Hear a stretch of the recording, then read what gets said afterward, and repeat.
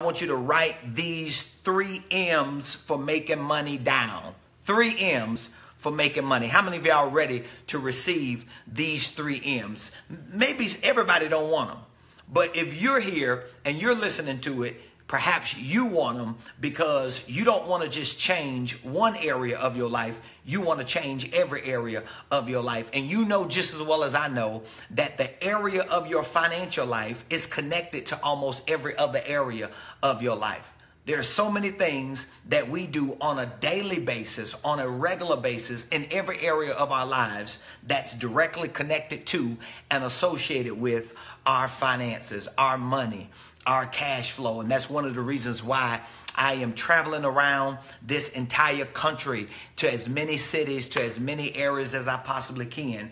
And I'm going to be teaching these free creative cash flow classes to help you create strategies for your own personal financial freedom, to build wealth for you and your family so that you, your family, and those that are connected to you can have a sustainable legacy. Let me give you these three things very quickly the three M's for making money. If you're taking notes, I want you to write them down. There are three things you need, three M's, that is, for making money. I'll give you the first one. Number one, you need a mentality.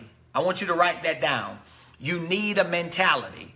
Now, I know that might sound very vague, it might sound uh, uh, theological or philosophical, but it's actually practical. You may not think that it's practical or tactical, like uh, giving you a job or like giving you a product or a service to go sell to make money. But the first M for making money is you need a mentality. You need a mentality. Why is that important? Because you've got to believe that having money, or at least having enough money, possessing the, the necessary cash flow, is relative to or beneficial for what you want to accomplish in your life. Because if you have the mentality that you are comfortable the way you are, and you don't really have to have a whole lot to be happy. You're probably, number one, lying to yourself, but you're probably lying to yourself because at some point in your life, at a certain place financially. And see, I have to shape your mentality. But in order for me to shape your mentality, at least the new mentality, I have to shake you out of the old mentality. So the first M for making money, if you really want to make money, if you really want to experience financial freedom, if you really want to uh, possess cash flow, you want to secure the bag. You want to come up a little bit. You don't want to struggle. You don't want to go through what you go through every day of every week of every month uh, or every year. The first M for making money is you need a mentality. If you're taking notes, I want you to write that down to yourself. If I'm going to make money, I need a mentality. Because, see, your mentality is the bank of your mind. Okay? If you can understand that. Your mentality is the bank of your mind. I'll say it again. Your mentality is the bank of your mind.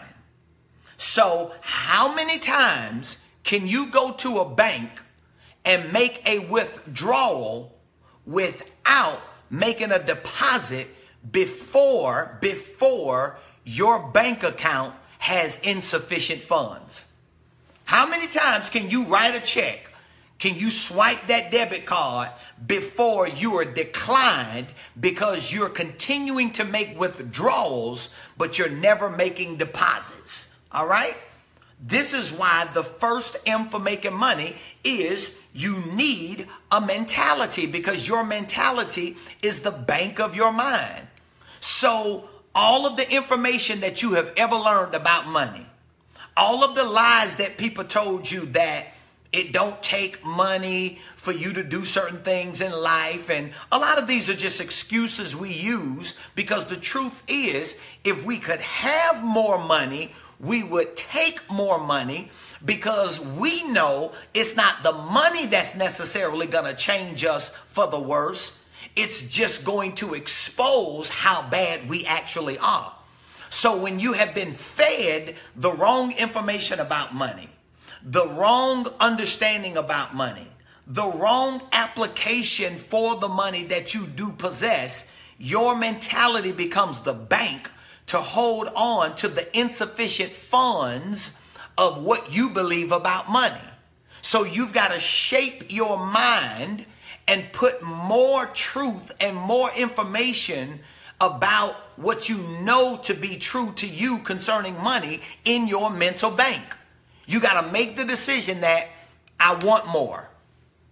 You got to make the commitment that I'm going to do what I got to do to get more and you got to feed yourself with information. That means you can't be around people who are always talking negative about money because you know they're just using that talk as an excuse for what they don't have and for what they're unwilling to make a decision to be committed to get. All right? So, the first M for making money is you need a mentality.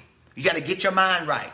And it starts with you making a decision to get committed about getting the bag up, securing the bag and doing better for yourself. Because again even even if you're not in a place or in a position right now where you can just instantaneously make money it's not something that you're trying to do with your hands as much as it's something you have to do with your head. You got to be able to wrap your mind around the possibilities that are endless for you to get whatever you need to have a solid stable financial life. So number one you need a mentality. All right? Number two, the second M for making money is you need a motive. You need a motive. The second M for, for, for making money is you need a motive. Now, your motive is not your mentality. Your motive is the base or the starting point of your motivation. See, you can't have motivation if you don't have a motive, right? You can't have motivation if you don't have a motive. But your motive is the base or the starting point of your motivation. So all you did in your mentality was you made a decision to get committed about the money you know you want to make. So you got to get rid of all this thinking, thinking about, oh, I ain't gonna just be chasing after the dollar and and and money is the root of all evil, which that's not what the Bible says anyway. Uh, it is the the love of money or the negative uh, affection and affinity that you have for money that takes precedence over your love and affection for God. That is the root of all evil, or it opens the door for you to do things that you shouldn't do and to become a person that you shouldn't become. So the bottom line is you got to have a mentality. You got to have a desire to make a commitment and you got to make that decision to commit to the to the truth that in order for you and your family to be sustained, in order for you to leave your children something, in order for you to be able to help your mother, in order for you to be a blessing to your church, in order for you to see to it that you can serve your community, it's going to require a whole lot of things. But one of the things it's going to require is what? It's going to require money. So you need a mentality. Once you have that mentality, your mentality, it breeds the right motive. Because now, with the mentality, watch this, you get rid of excuses and you adopt reasons. Oh, that was so good. I hope you caught it. Don't wait till Sunday afternoon to catch what I just said. I said, when you have a mentality and it's solid, you're now able to build a foundation or a base and a starting point for your motive or your motivation because you finally get to a point in your life where you get rid of excuses and you and you adopt more reasons. See, most people don't have what they really want because they have exchanged reasons for excuses. Right? So every time you talk to certain people, they always have an excuse. Well, I can't do this because of that. Well, I'm not going to be able to do that because of this. Well, I would go there, but this came up.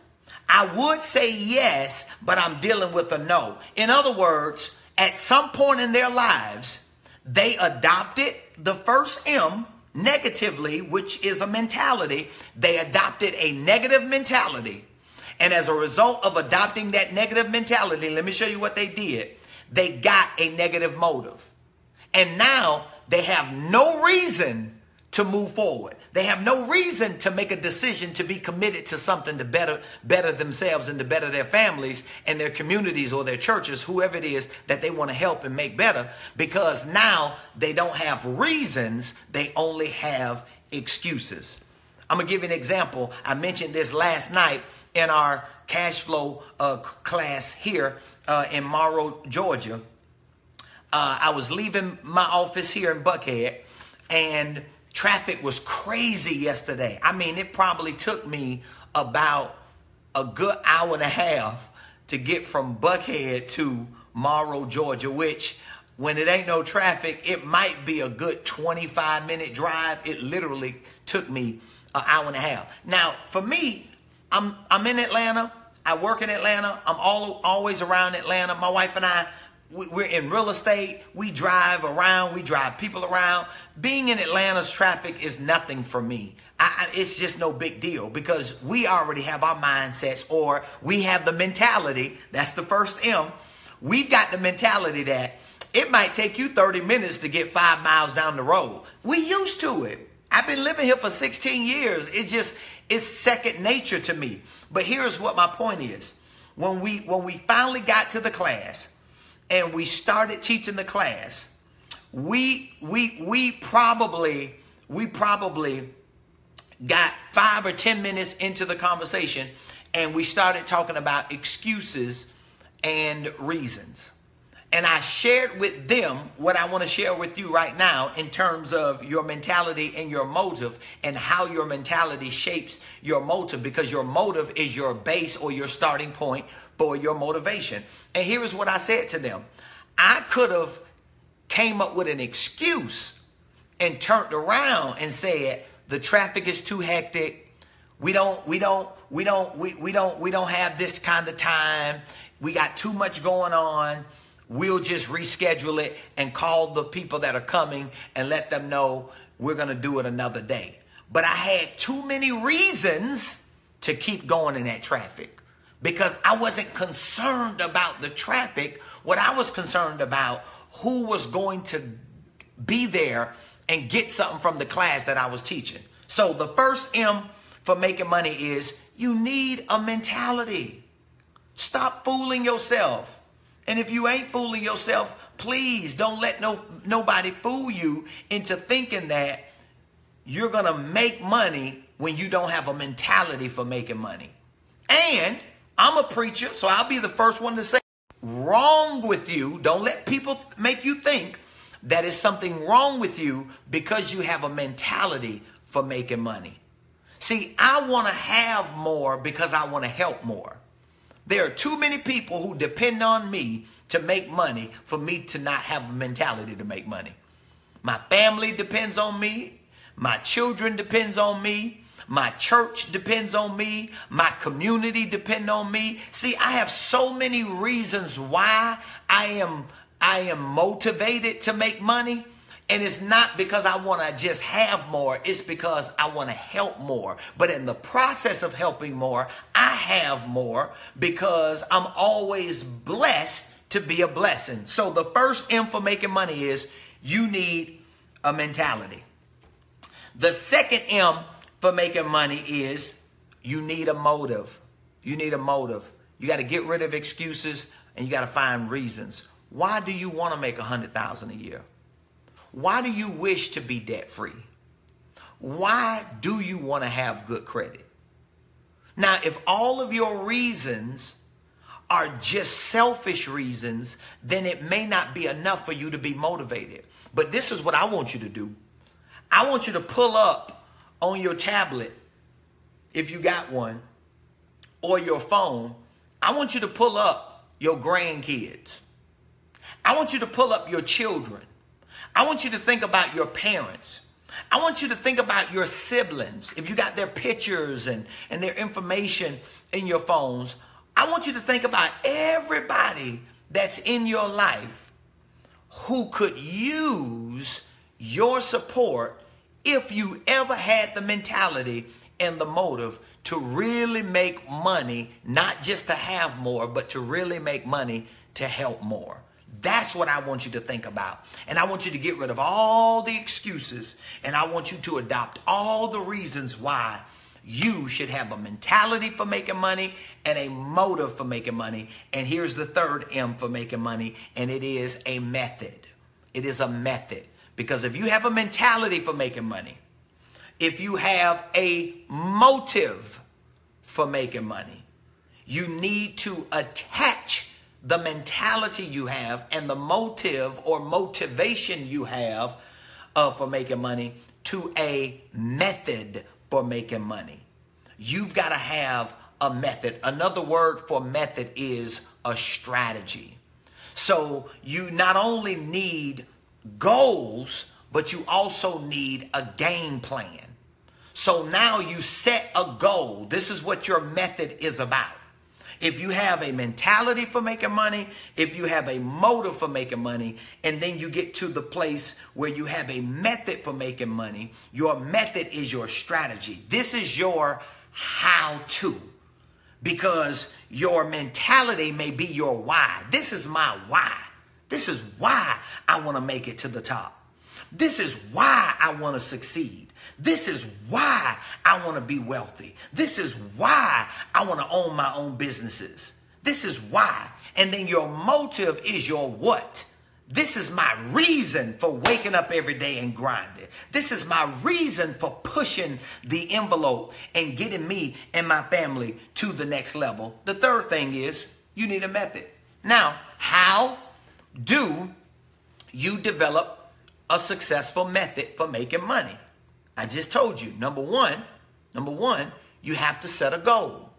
You have to set a goal. You have to give yourself a timeline for when you want to accomplish what you want to accomplish. All right? So let's say, for example, this is March, you're getting ready to go into April. Let's say if you your method is made up of a goal and a game plan that you say by the end of December 31st, of 2018, here is what I want to accomplish in terms of making money. You got to have a dollar amount. You have to be able to identify with what you want to have by the time you want to have it. And then once you set that goal, you now need a game plan. What exactly am I going to do every day, not five days a week because you work working a job? Not not not not every other week because you get paid every other week. That ain't going to be enough. If you if you want to make money, you need a mentality to make money. You need a motive to make money, and the third M is you need a method. That means you got to set a goal. You got to set a date, and when you set that date, you you you identify exactly what you want on that date. So if I want $10,000 by December the 31st, 2018, I'm going to come all the way back to today. And I'm going to decide today what do I need to do every day of every week of every month leading up to that goal that I set so that I can hit that dollar amount. And once you set that goal, you then implement a game plan. You figure out all the details of what you need to do to begin mapping you towards that goal that you set by that specific date because that's your mentality that's your motive and that's your method.